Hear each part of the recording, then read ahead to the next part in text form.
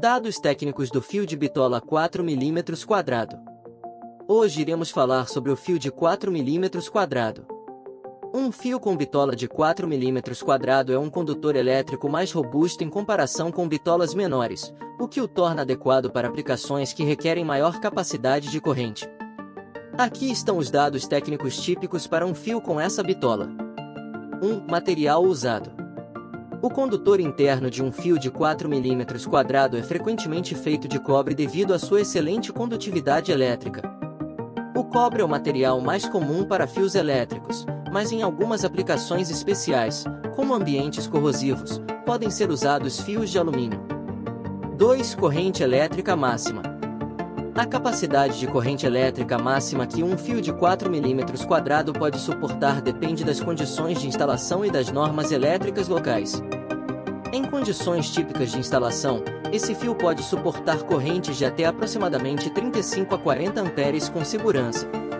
A capacidade exata pode variar, então é importante consultar as normas elétricas locais e as especificações do fabricante para determinar a capacidade de corrente adequada. 3 aplicações comuns. Fios de 4 mm quadrados são frequentemente utilizados para alimentar dispositivos e equipamentos que demandam correntes mais elevadas, como sistemas de aquecimento elétrico, máquinas industriais, sistemas de iluminação de maior porte e outros equipamentos que requerem uma quantidade significativa de energia. 4. Temperatura máxima suportável. A temperatura máxima que um fio de 4 mm pode suportar também depende do tipo de isolamento utilizado.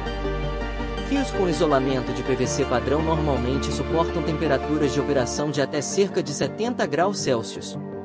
Se for necessário suportar temperaturas mais elevadas, fios com isolamento de materiais resistentes ao calor, como silicone, podem ser usados, e eles podem suportar temperaturas superiores a 100 graus Celsius.